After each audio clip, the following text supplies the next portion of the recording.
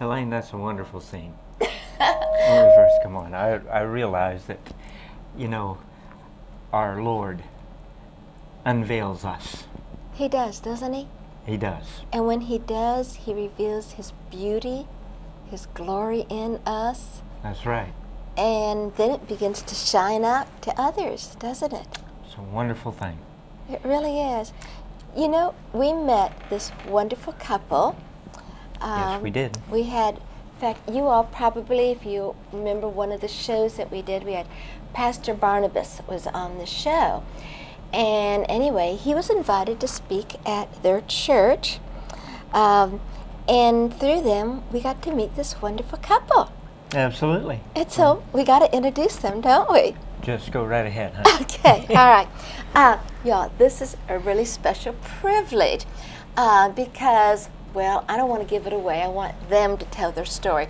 All right, this is Pastor Steve yes. and and his wife, Mehete. Am I pronouncing it correctly? Correct. Okay. and uh, your full name is um, Pastor Steve Kande. Yes. And so you have a, it's not just one church, if I understand you right. You are pastoring the two of you now in Cary, but you also have churches in Africa and New York and where all? I could, I, I, I'm afraid Yeah, to say we- I'll overstep myself.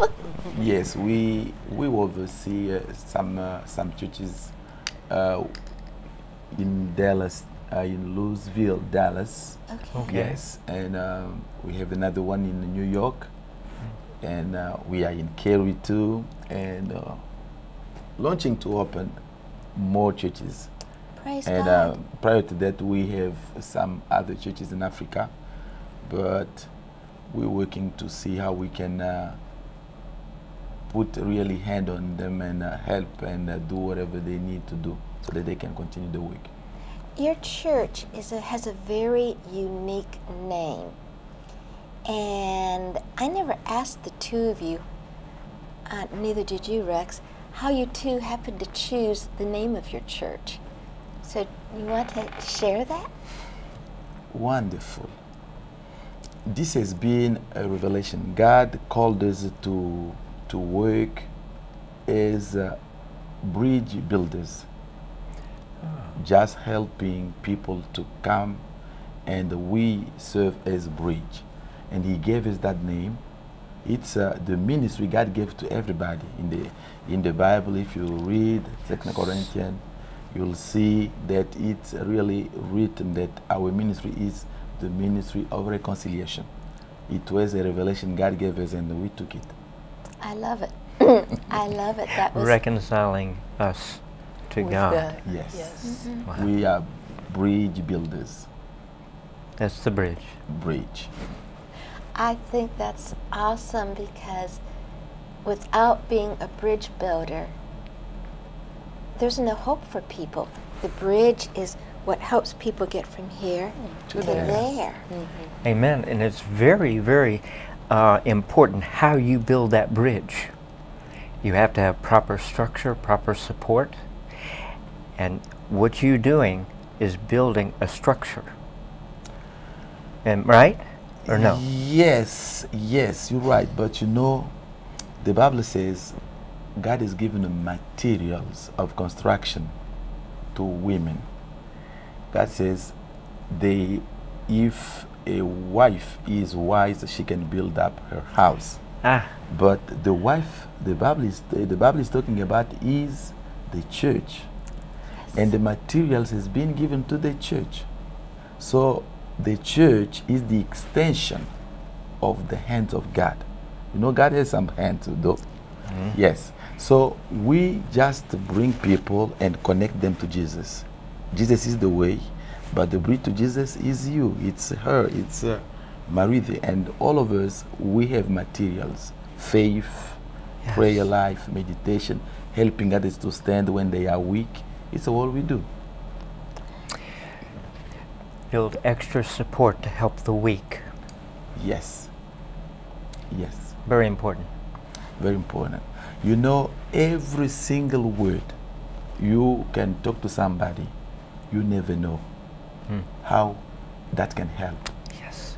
Sometimes you you take it as granted or nothing at all, but when it goes with the power of anointing, it changes someone's life. I talk to someone, you see, ready to probably to give up or to, but just to tell him that Jesus loves you. You see things changing.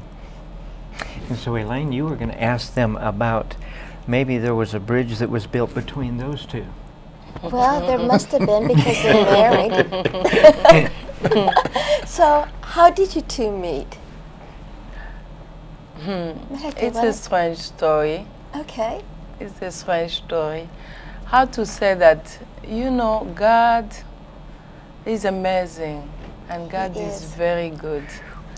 When I was growing up, I'm the firstborn of a big family of 13 siblings. Wow. But seven, we were seven girls and six boys. Wow. And then my sisters, m- almost all of them, they got married before me. And I was not married. But things happen in my family because the devil, you know, he why what he's doing is written in John 10:10. He comes, he want to destroy, to kill. Mhm. That's the job, and to steal. That's the job of the devil. But at the end of that sentence, I love what God said. But me, when I come, I came to give life and life abundantly. And uh, the devil tried to destroy my life and the life of my family. At the beginning, we were we were not we were Christian, but we were Catholic, but not prac- practical. We were not practice, not going to church, but the devil came and destroyed my family. We got sickness. My, God, my dad died. The, but before he died, he was separated to my, my mom. And uh, all the kids went in uh, so many directions. And I lost one of my, my brother. That was a very sad story. And uh, but the, the Bible said that everything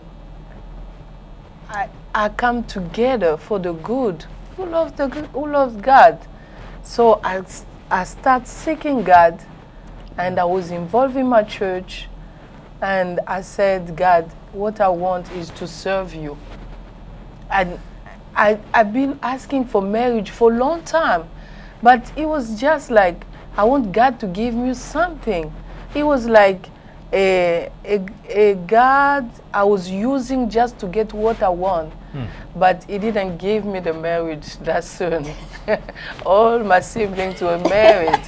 and then I understood at the end that no, what I have to do is to serve God. And the Bible is clear. It says, Seek first the kingdom of God, and everything else shall be given unto you. Do you know that was the verse? Everything is me. That was the verse that I claimed. If I said, Lord, if I'm ever going to get married, I said, I'm going to do what Matthew 6:33 says: Seek first the kingdom of God. So when people ask me how I caught Rex, I said I did it on Matthew 6:33. Same thing. That's exactly what I did. I was. If you meet my pastor today, he will tell you this lady, she was going with me everywhere, and I started going with my pastor everywhere, working like a crazy. And then one lady of my church, one day, he was looking for a wife, and then he talked to that lady, and the lady said, "I know a, a girl in my church. You should meet her." Isn't it awesome how God takes and puts people together? Yes. yes. I mean, it is amazing because I watched the same thing happen with Rex and I. God just threw us together. I was going with him, same thing, everywhere. I mean, same. uh, Seemed like we ate breakfast together, lunch together, and dinner together. I'm probably exaggerating, but you know, well, that's how much we were thrown together Okay. five days a week like that. And you watch how God takes and uses that to bring you together and then to confirm that God has put the two of you together. Exactly. Yeah, I forgot when we were in school, the Lord even sent us to the office and we ended up going to the same place to go to work. Yes, You sure? yes. I worked there and she My worked there. And they didn't hire anybody else. Just Yeah, the two that of was us. it. And I had no transportation. so that's what I mean. God throws people yeah, that's together. God together. Yes. And uh, when we met, in, in, in I, I said, okay, let's pray about it. But I don't know what God showed him. He said, you can pray. Me, I know that it's you. I like that. Yeah, but you know, she was looking for an answer from God. That answer never came. I told her, God already talked to me. You know, the problem in the marriage is every single one want to hear himself from God. But sometimes God may talk to the husband, not to the wife, or to the wife, not to the husband. That we don't talk about it. That was the case. Yeah. But she was very exceptional, as she is till now. Very helpful. She's up, praying for other people. She's a wonderful uh, Yeah. woman of God. I think this God was preparing me for the ministry because uh, when I start working with my pastor, I was fearful. I, and I said, I want just to pray for other people. And I know that when I take care of others, God is taking care of me. Amen. Amen. And uh, that's what I'm doing till now. Right. Do you know, I'm so, you know, your story really impresses me because you said something at the beginning that the Satan is here to kill, steal, and destroy. One of those words in the Greek even has the connotation of a pickpocket. You know, it's slowly done. You know, you're totally unaware, but it's a little bit stolen here, a Little bit bit. there. Sneaky. Bit. Yes. Sneaky. Uh-huh. Very sneaky. But because you love the Lord so much, and He promises that He'll work everything together for good, look what He did. He took and He turned such a negative situation over and made it totally positive. I know. And now that radiates out to the people you minister to. And um, I'm telling you, I know uh, now, and I said that maybe God let me wait so long for the marriage so I can talk to single ladies, and I know how to talk to them. And uh, I, I, God put something in me while I was waiting and uh, I know that I have to give to others. It's not easy to to be a single single lady Christian. It's not easy to be a single mom, and I have s- I have them in my church. I see how they struggle, and uh, I know that they have to wait on the Lord. I want you to do something.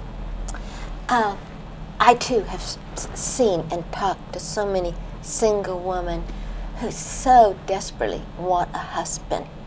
And I know today there's people watching, particularly single women watching right now. A lot of them are discouraged. I've been praying, I've been waiting, but Lord, you haven't sent the right man mm-hmm, yet. Mm-hmm. I want you to give a word of hope to them and pray for them. So just look at them and give them that word of hope. Yeah, what I know is uh, God is good. God knows everybody. And the Bible said that it is not good for a man to be alone.